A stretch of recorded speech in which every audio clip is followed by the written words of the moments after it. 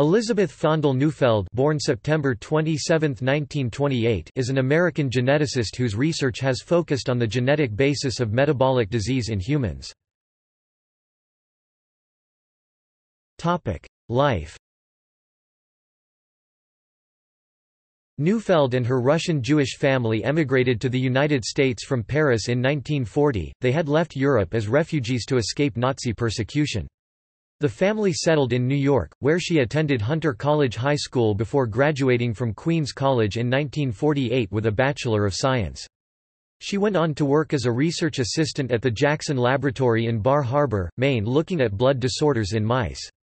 Later on, she attended graduate school at University of California, Berkeley, where she earned a Ph.D. in 1956 for her work on nucleotides and complex carbohydrates.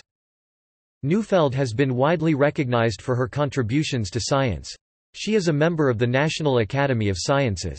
Neufeld has been awarded the Wolf Prize, the Albert Lasker Award for Clinical Medical Research, and was awarded the National Medal of Science in 1994 for her contributions to the understanding of the lysosomal storage diseases, demonstrating the strong linkage between basic and applied scientific investigation.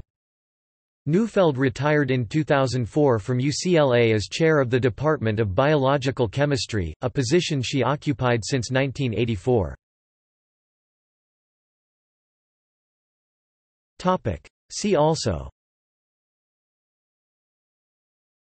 Inborn error of metabolism References External links. Home page at UCLA 1980 honorary degree from Russell Sage College in Troy, NY